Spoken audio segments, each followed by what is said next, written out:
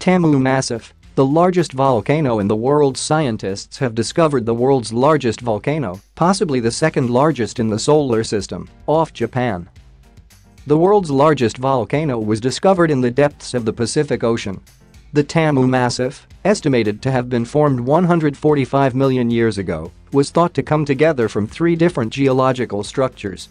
It was understood that Tamu Massif, which was first detected 20 years ago by William Sager, a researcher at the University of Houston in the USA, may be the second largest volcano in the solar system. We were tired of calling one on the right, the other on the left, and the other on the middle. We knew it was a big structure, but we didn't realize it was a volcano, Sager, the lead author of the study published in the journal Nature Geoscience, said, as we think Tamu Massif is the largest volcano on Earth, it is likely to be the second largest volcano in the solar system after Olympus Mons on Mars. By comparison, Tamu Massif is 60 times larger than Mauna Loa on the island of Hawaii, the world's most active volcano.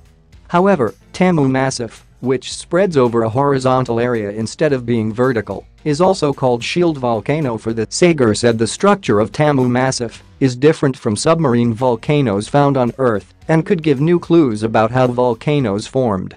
Although gigantic, Tamu Massif poses no threat today. Speaking to the Houston Chronicle newspaper, Sager said that the volcano ceased